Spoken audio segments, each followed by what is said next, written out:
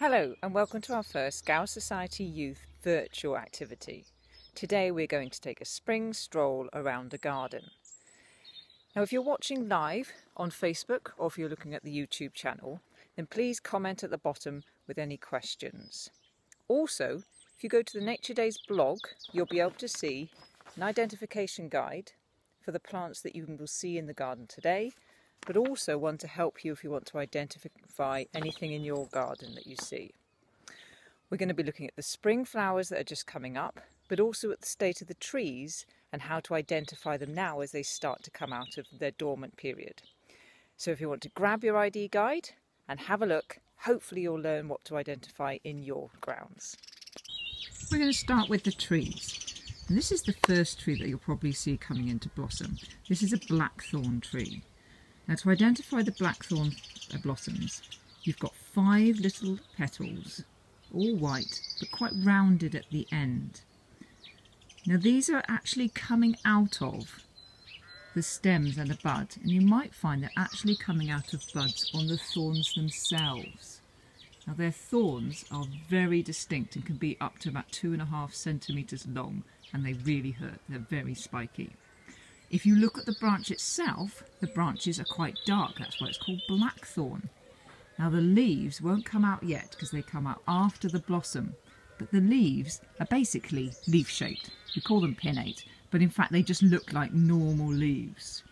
Now this can be quite obviously confused with the hawthorn, and we'll look at the hawthorn now to see how it differs.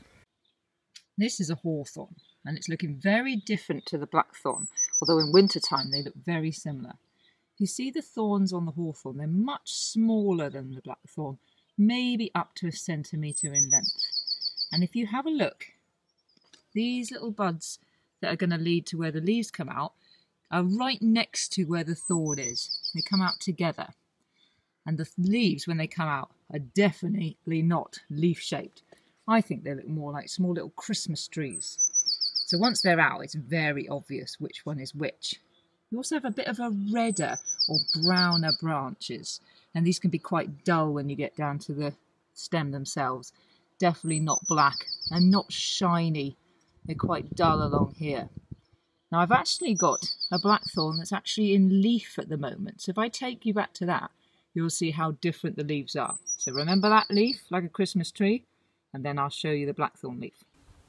So here's a blackthorn tree which is in leaf. So these leaves, as I said, look like leaves. And you can see they've still got these big thorns on it. And the big thorns are much bigger than in the hawthorn. And they come out, these leaves, along the thorny branches, not at the very end like in the hawthorn. Now if you come in the autumn time it will look very different again because the blackthorn grows something called sloes which are quite bluey, yeah, kind of bluey blacky fruits that you can make um, gin out of, or you can also turn them into lovely jelly.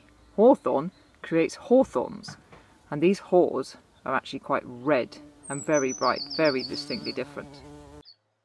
Next tree we've got here is a hazel. Now I've got a hazel hedge in my garden and you can see that the leaves are just starting to burst out of their buds. So if you see this weird shape at the end of your leaf, that's actually the bud that was holding onto the baby leaf over the winter. You can see it's just coming out.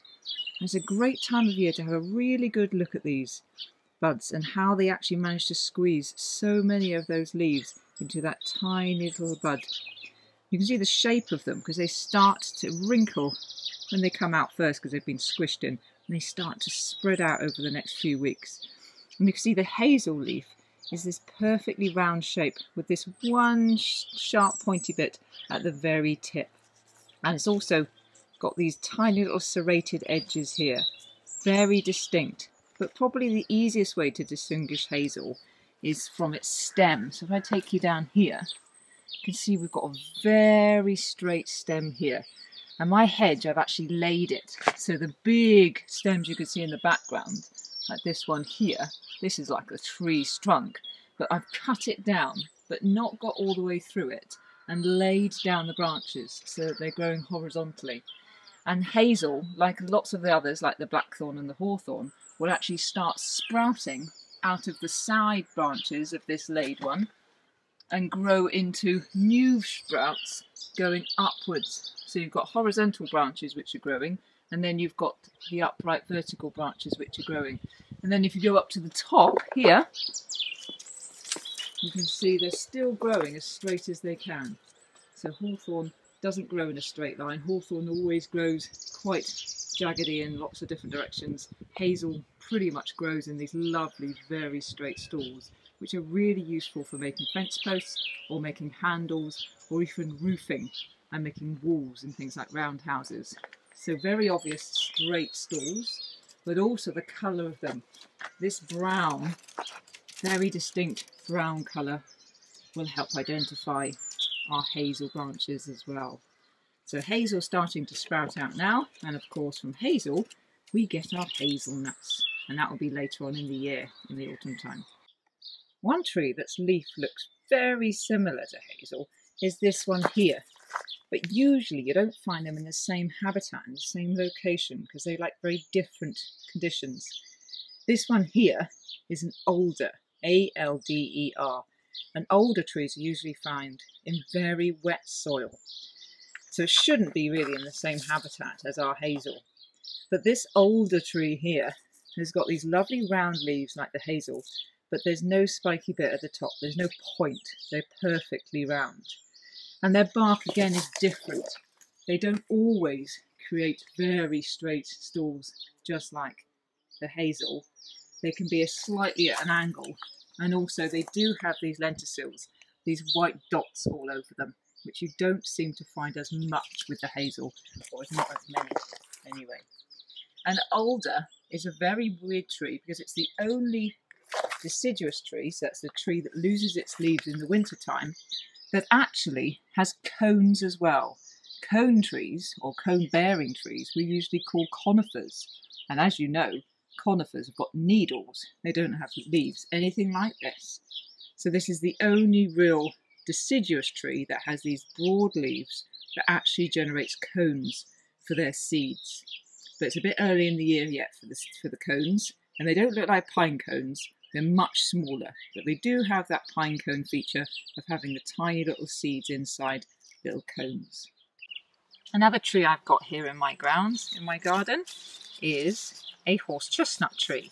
Now these look a bit droopy now because if you can imagine all of these little leaflets, this is one leaf, all of it together, and this is leaflets individual, all of these were squished together into quite a large sticky bud and that bud has burst open and all these leaves have come out and are starting to expand and grow. So that's why they're all drooping down. But once they're opened up properly, they'll all expand out and look like little fingers. And of course, the horse chestnut tree is where we get the horse chestnuts or conkers. Now this is just a tiny little sapling, as we call them, a baby little tree that's growing out of the side of a much bigger one. So if I take you up to the top, you can see we've got a much bigger tree way up there, which is also opened. And a little bit later on, maybe in a few weeks' time, we should get some lovely blossom coming out of here as well to make some lovely, almost like chandeliers above your head. And we've got much more gnarled trunk here compared to the hazel or the alder or even the hawthorn. Huge old tree we've got here, lovely. Other trees I've got growing in little odd places are these opportunistics. This is an opportunistic plant. This is a sycamore. Easy to identify because it's got this star-shaped leaf, looking a bit like a maple, and a very red branch that it attaches to the main branch to. So this is our leaf stalk. Now these will grow wherever they get the opportunity and they will grow quite big and quite fast. But we really don't want too many of these because they don't provide food for as many species as our native plants, such as all the other trees that I've mentioned so far.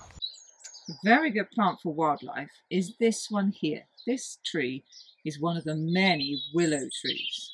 Now if you look very carefully you can see the willow tree's flower.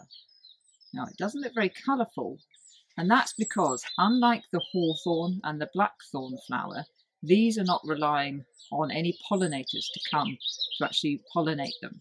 These are wind pollinated, and the wind doesn't care what colour your flower is, it will blow whatever.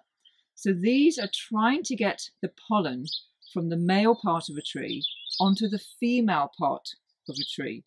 Now the tree can be dioecious, which means it's got two different sexes, so you can have a male tree and a female tree, or it can be monoecious, which means that one tree has got both the male and the female parts. And they've both got to come out at the right time so that the, the pollen can reach the female parts so that they can make the seeds. So this is the female willow plant. When the male released its pollen from its catkins, so its flowers, it landed on this part of the female flower, which is called the stigma, and it's sticky. So the pollen landed on the sticky stigma, and then a pollen tube started to grow down this tube here. And then at the very bottom of this area here, this is the ovum, which is the egg part, the female part of the, of the willow. And then that joined with the pollen, and it started to develop into a baby seed. Now, while that's been developing into a seed there, up here, along here, it's been developing a parachute. And when this is ripe and the seed is well enough to grow into a, a new plant, the outsides of this will burst open and then the seed will start to want to be distributed somewhere away from its parents. Now, the way it does this is by the wind again, and that parachute will be caught up by the wind and it'll be blown away with the seed dangling underneath it and taken away from its parents. And the reason it doesn't want to grow right underneath its mum plant is because they'll be basically having to share all the resources the soil, the sun, and everything they both need to grow. So the young plants have to be distributed far away from the, the parents so that they don't have to fight over the resources. It just shows that this flower here is starting to create seeds now, so the willow seeds will fall onto the floor. And if you come back in about a month's time, you'll see a whole carpet of those little parachutes, and it makes it look like it's snowing underneath the willow trees if you've got lots of them. And those will all turn into baby willow plants. Now, this is going to happen in the next month, so in about May. Compared to the blackthorn and the hawthorn, whose flowers are only just coming out now, they're going to turn into fruit in autumn time. So each tree comes into fruit and flower at different times. So the, the little saplings, the tiny little tree plants, are all starting to grow at different times of the year, so they're not all fighting for light and all fighting for resources. And this brings us nicely into why we have spring plants. And we're going to find some spring flowers now and find out why they're growing now and not in the summer when it's much nicer and much sunnier to grow. Probably the most well known of the spring flowers is the bluebell. And if you happen to have bluebells in your garden or where you go for your daily walk, you can find out if they're the native or a Spanish variety or hybrid. Now, the first way to find out is to look at the leaves. Now, the leaves are these long, straight ones. And if I give you a comparison in size, these ones are quite thin. They're about one centimetre across. That makes us think that they're probably native. But let's look at the other distinguishing features. If you look at the flowers, if you look at the end of the trumpet of the flowers, these are curling outwards. This is another feature that makes you think that this is a native, not a Spanish. The Spanish ones tend to splay out at the ends, so they don't curl over, they just come out and point out like that. Okay? The other thing about the flowers, if you look inside the anther, the male part of the flower which has got our pollen, will be cream. If we look, eh, we got cream anther there, which again makes us think that it's a native. On a bluebell that's come from Spain, these will be the same colour as the flowers, they'll be purpley or blue. The other thing we can look at is the form of the flower. So if we look on one side of our flower stalk, we've got most of our flowers on one side. So they're kind of asymmetrical. And that will make our flower, once they're all out, bend over towards one way, a bit droopy. That's another form of the native. Spanish ones have flowers on both sides of the stem and they tend to be more upright. So this one looks like we've got a native bluebell. Another spring flower that I've got in my garden, which you find in woodlands, is this amazing one here. This is an arum plant, or lords and ladies, and it's actually rather poisonous. But it's a beautiful one to have a look at. If I show you the leaves first of all, these are arrow shaped. And you can see they curl around the stem here, or the leaf stalk, and you can distinguish them from something else which is called sorrel that sometimes you see in the woods because it's got a vein running around the outside and this is more curled and in sorrel this is a very straight triangle here and of course the flowers are very distinctive. When they first come out they grow in this amazing folded up system here. So this is the outside of the flower this hood which wraps around our anther here. So this flower here is meant to look like a lady in, in Edwardian clothes. So this is a bit like, think about the Queen Elizabeth, that ruff that she had around her neck. That's what this bit's meant to be like. And this is her head. Now later on in the year, when we get down to where the seeds are going to grow, down the bottom here in the ovum, now these are going to develop into bright red berries. And it's going to be on the stalk here bright yeah, red berries, lots of them in pairs or in fours, all the way along this stem here. Now those are very poisonous and because quite often this plant is surrounded by other things that you might want to pick to make some spring uh, food. For example, wild garlic. Although these leaves look nothing like wild garlic, wild garlic doesn't have this arrow shape and it's very round, uh, very straight. I haven't got any to show you, I'm afraid. They don't grow in my garden. But if you happen to have them growing in the same place and you just pulled the leaves and you mix them together without sorting them, then it could get you into trouble. But these red seeds and red fruits that you find later in the year are very distinctive and very obvious and should be avoided at all times because they are deadly poison poisonous. But this is a beautiful flower to check out anyway. The Lords and Ladies flower is also meant to smell like wee so that it attracts flies. This is a rhododendron. It's looking a bit sickly because rhododendrons don't really lose their leaves in the winter time, so they've been there for over a year. But if you have a look in the middle, you can start to see the start of a bud because we'll soon, next month or so, get some beautiful rhododendron flowers coming out. And you can see this bud starting to develop some huge, beautiful, bright pink flowers slightly later on. So if you've got something that you know will flower, this is a great opportunity to keep watching it and seeing how those buds open up and see what happens to the old leaves and see if it develops new leaves before or after the flowers. You can also use what's happening in spring in your garden to check out some old wives' tales. Now this is an ash and we can see it's an ash because if you look at the buds they're nice and black, very easy to identify. And the old wives' tale says that if the ash opens before the oak, then the summer is going to be a soak.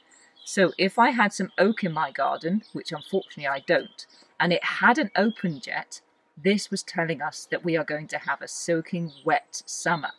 However, if we had some oak and it opened before the ash, then the old wives' tale says that we're going to have a splash, which means we're going to have a dry summer.